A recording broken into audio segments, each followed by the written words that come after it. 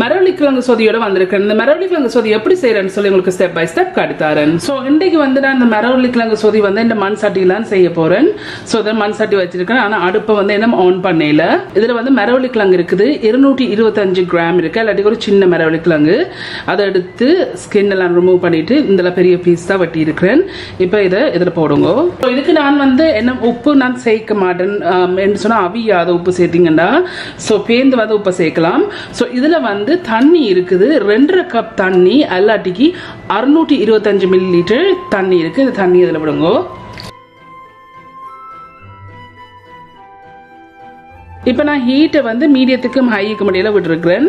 விட்டுட்டு இதை மூடி போட்டு ஒரு ஐம்பது வீதம் இந்த கிழங்கு அவியணும் கூட அவியக்கூடாது. ஒரு ஃபிஃப்டி பர்சன்ட் இதை அவிஞ்சா காணும். ஸோ இப்போ இதை கொஞ்சம் அவிய விடுவோம். இப்போ வந்து ஏழு நிமிஷம் ஆயிருக்குது இந்த கிழங்கு எடுத்து இந்த முள்ளு அளவு விட்டு பார்த்தீங்கன்னா இப்படி போகுது. ஆனால் ஃபுல்லாக வந்து அவியல. ஐம்பது வீதம் தான் அவிஞ்சிருக்குது.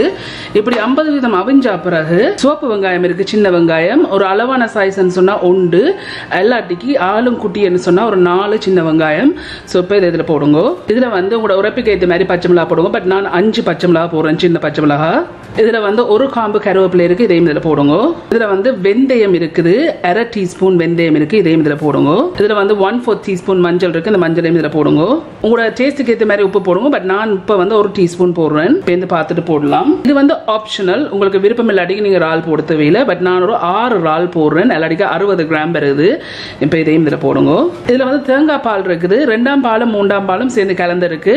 இருநூற்றி ஐம்பது மில்லி லிட்டர் இல்லாட்டிக்கு ஒரு கப் இருக்குது இப்போ இதையும் இதில் விடுங்க. இப்போ இதை மிக்ஸ் பண்ணி போட்டு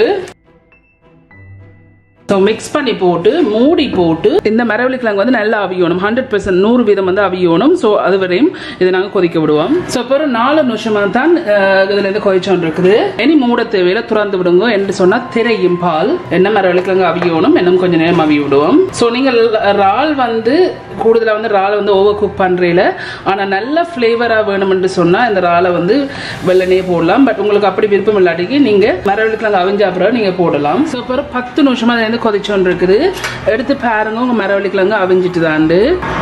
ஸோ இந்த மிளகு நல்லா அவிஞ்சிட்டுது. இப்படி அவிஞ்ச பிறகு இதில் வந்து முதலாம் பால் இருக்குது. திக்காக புளிஞ்சு வச்சிருக்க முதலாம் பால் இருக்குது. அரை கப் இல்லாட்டி நூற்றி இருபத்தஞ்சு மில்லி லிட்டர் இருக்குது இப்போ இந்த முதலாம் பாலை விட்டுட்டு ஒரு கொதி வரணும் இந்த முதலாம் பால் விட்டா பிறகு. உப்பை செக் பண்ணி பாருங்க. ஸோ ஒரு கொதி வர வரையும் இப்படி விடுவோம். இப்படி ஒரு கொதி வந்திருக்குல்ல இப்படி விரையக்கு வந்து அடுப்பு நிப்பாட்டும் எனக்கு ஒரு நிமிஷம் மாதிரி எடுத்து அந்த ஒரு கொதி வ- வர்றதுக்கு இந்த பா முதலாம் பால் விட்டா பிறகு இப்போ இதை மிக்ஸ் பண்ணி போட்டு நான் அடுப்பை ஆஃப் பண்ணிட்டேன். இதில் வந்து வெந்தயம் இருக்கு அரை டீஸ்பூன் வறுத்த வெந்தயம் இருக்குது. இது போட்டிங்கன்னா டேஸ்டாக இருக்கு ஸோ அடுப்பை நிப்பாட்டின அப்புறம் இதை போடுங்க.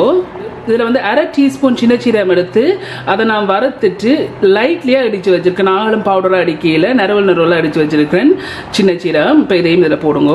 போட்டு இதை மிக்ஸ் பண்ணி போட்டு.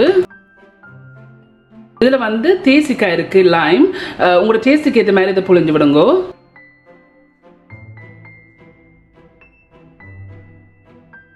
ஸோ இதை மிக்ஸ் பண்ணி போட்டு. ஸோ இதுதான் இந்த மரவள்ளி கிழங்குல செய்கிற சொதி. இந்த சொதி வந்து செய்து முடிஞ்சுது.